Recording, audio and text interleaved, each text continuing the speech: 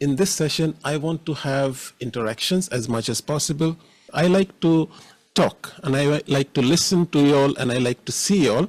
And that's why my presentations are usually with few bullet points that I share on my screen. These are some of the activities I would expect you all to do during your coming year, starting in a few days.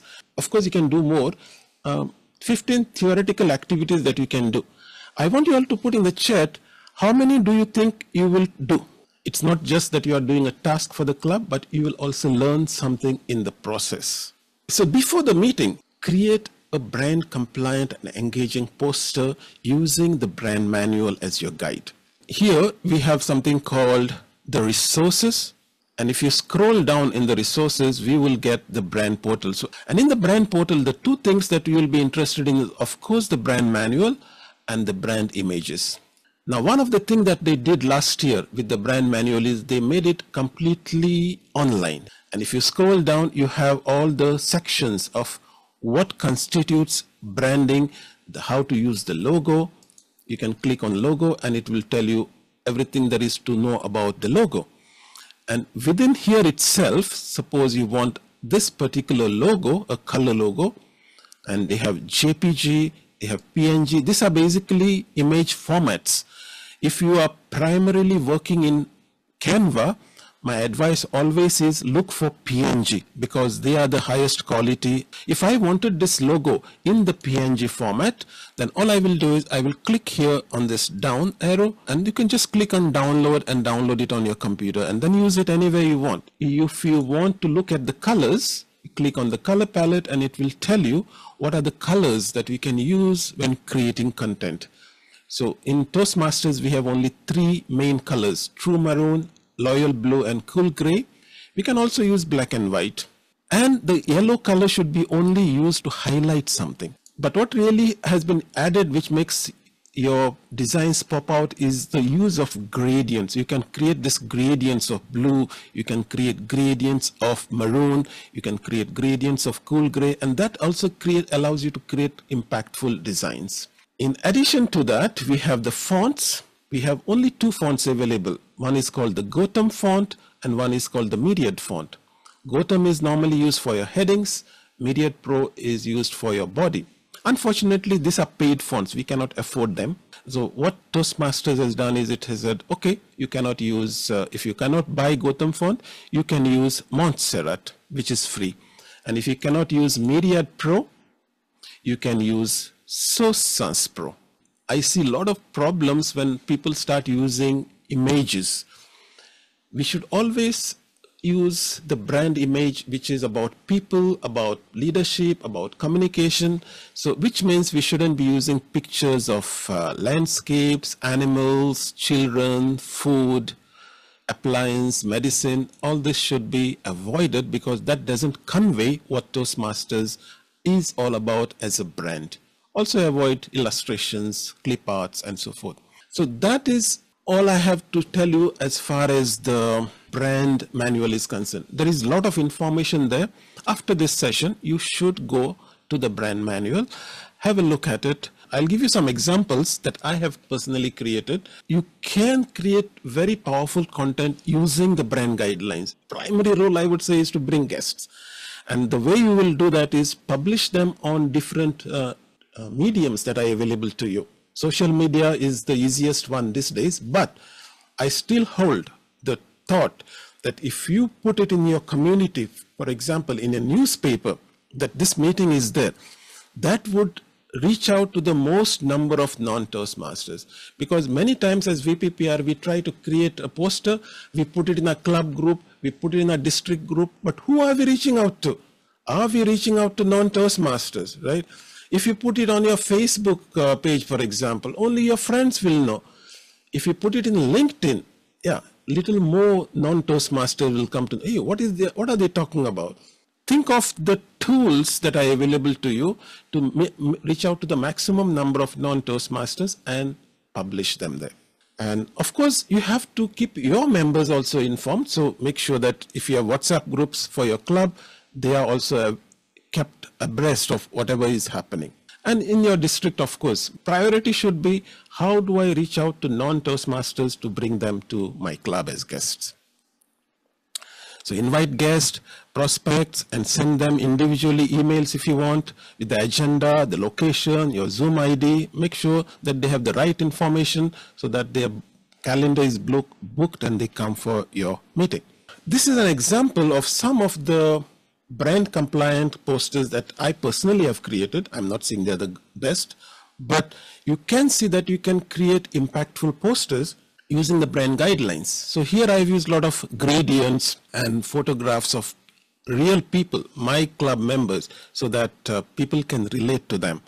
I've used also the transparency concept that is available in the brand manual. Check it out. So you have colors, you have gradients, and you have transparencies. So using this, you can create a range of colors to still retain the brand identity of Toastmasters. Uh, this is an example of um, they should see the benefit of coming to Toastmaster clubs.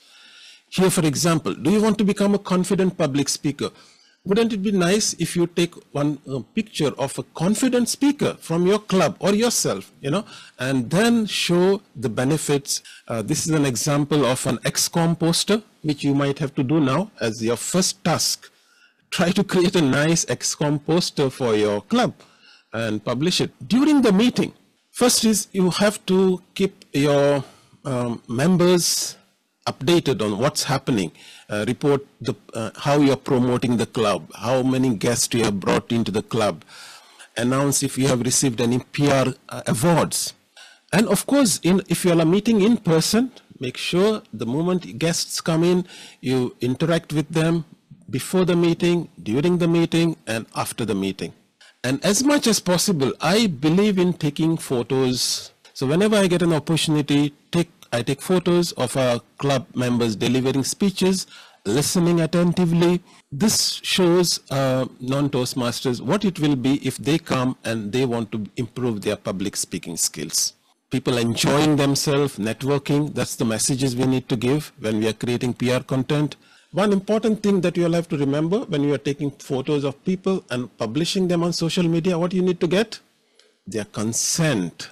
Once the meeting is over, the first thing, try to thank the people for coming for the meeting. Create some posters of the meeting.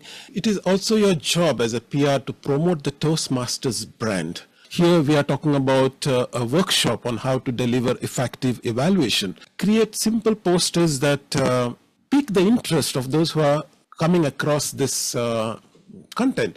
One thing I would like you all to invest your time during this year is create a plan to design a newsletter. A newsletter is a great team activity. It will teach you team coordination because a newsletter cannot be created by a VPPR. You can be a coordinator, but you cannot create the articles that are required to be published in the newsletter by yourself. You might do one. You need uh, views from your president. You need views from your education, VP education, uh, membership, and other members who want to contribute, write articles. It gives all your members an opportunity to voice their opinions. Canva is a great tool, uh, very easy to create newsletters. There are so many templates that you can use. Try to promote other programs like Speechcraft. You can conduct open houses, open houses We'll just focus on bringing as many uh, leads as possible. What else we can do? We have to promote our members, and I cannot stress enough about uh, it is not just about bringing new uh, leads to the club, but also to retain the existing members. And you do that by encouraging them. So whenever they do something special, like give an icebreaker, it's an achievement, right? So next day you will create a nice poster and say, thank you for delivering your icebreaker.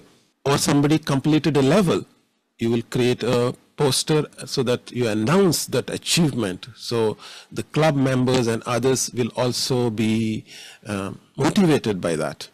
As a PR, you should try to attempt is to create a team, a PR team, subcommittee. You know, bring one or two members uh, into the team so you all distribute the work and more importantly, a team will help you to build the successor. So when after one year, when it is time for you to step back and give the role to somebody else, that team member has already gained the skills. They already know how to use maybe the design tools like Canva. So create the team, and create a PR plan. As a public relation, we have, as I said, two key goals. That is to bring positive awareness of Toastmasters and to attract and retain ex, uh, existing members. It requires keeping the public, which is the external audience, and members, the inter. So you have to deal with both external as well as internal, informed about the club or district activities through effective communication and media relation. Good public relation will build membership and gain public recognition. Retain your existing members by motivating them, uh, encouraging them with awards and whatever they do in the club. Bring new uh, prospects so that the rest of the XCOM team, like VP membership, can work with them to convert them into club members. And these are some of the skills that you will learn if you do your role effectively.